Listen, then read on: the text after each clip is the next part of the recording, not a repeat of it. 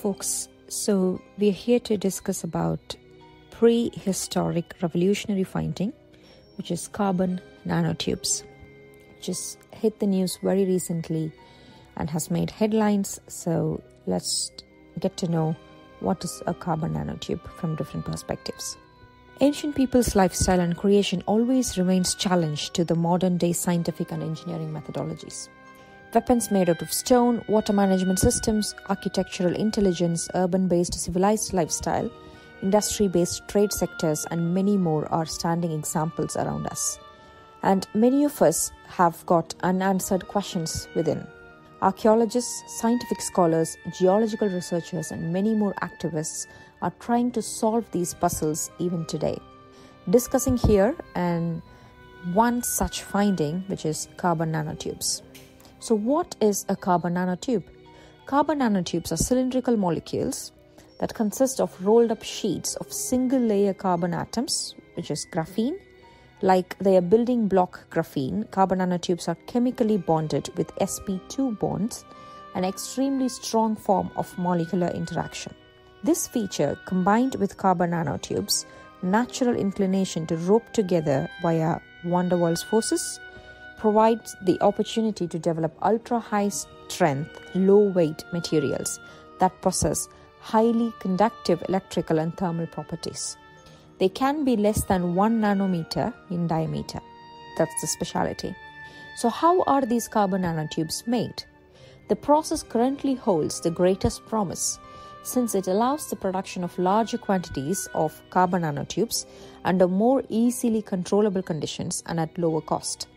In this process, manufacturers have combined a metal catalyst, such as iron, with carbon containing reaction gases, such as hydrogen or carbon monoxide, to form carbon nanotubes on the catalyst inside a high temperature furnace. This process is what is called carbon vapor deposition. The carbon vapor deposition process can be purely catalytic or plasma supported.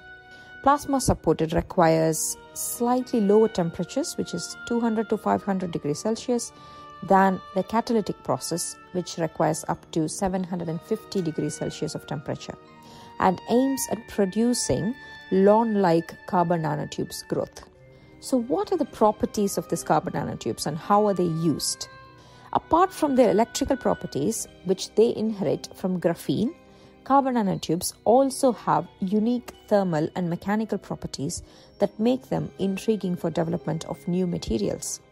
Their mechanical tensile strength can be 400 times than that of steel. It's much, much stronger. And they are very lightweight. Their destiny is one sixth of that of steel. Their thermal conductivity is better than that of diamond. And they have a very high aspect ratio, greater than 1000, that is, in relation to their length, they are extremely thin. All these properties make carbon nanotubes ideal candidate for electronic devices, chemical or electrochemical and biosensors, transistors, electric electron filled emitters, lithium ion batteries, white light sources, hydrogen storage cells, cathode ray tubes, and electrostatic discharge and electrical shielding applications. That's a wide array of application in itself, I guess. Then, what are the prehistoric findings regarding this carbon nanotubes, which has hit the news recently? So, we understood the basics of carbon nanotubes so far, but the original discussion and real mystery begins here. When we apply the above process and application to an ancient day, which is 2000 years before, where no electricity was known, that is what is making it more interesting. But originally in 1991, Sumio Iijima published a groundbreaking paper in Nature Journal and thus introduced a new term, carbon nanotubes, to the scientific world.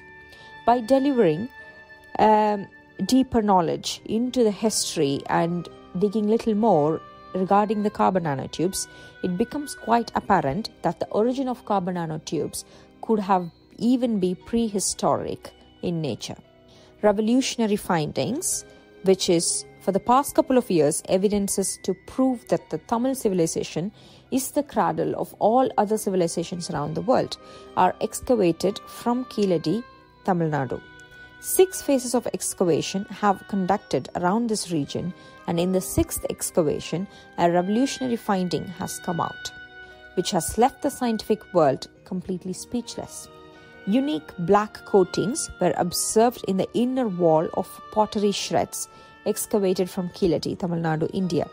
Raman spectroscopy, transmission electron microscopy, and X ray photoelectron spectroscopy were used to understand the nature of the coating. The analysis revealed the presence of single, multi walled carbon nanotubes and layered sheets in the coating. The average diameter of single walled carbon nanotube found to be about 0.6 somewhere between plus or minus 0.05 nanometers.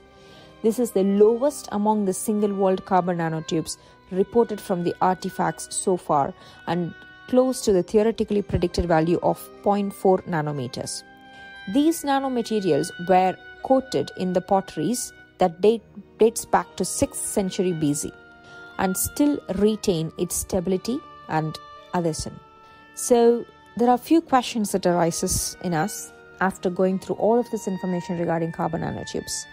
So the modern day usages of carbon nanotubes were not possible before 2600 years ago. The wide range of potteries excavated from various archaeological sites have its inner side polished with black coating. This needs more investigation and research to showcase our ancestors had deep and broad scientific knowledge from the above properties and findings. Then, here are the following questions that we've got in our minds. Under what circumstances this carbon nanotubes were attained? For example, industrial infrastructure or furnace lasts with high temperature, catalysts and its sources, processes, etc. Next thing is what would be their need or purpose to use carbon nanotubes?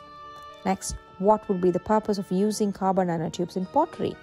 Then, as cytotoxic is one of the property of carbon nanotubes, these potteries were used for edible preparation and preservation, which means it has the poisonous character to living cells and this is used in modern day chemotherapy drugs to kill cancer cells in cancer patients. The next thing is what was the Tamil names for every phase and the overall metallurgic process.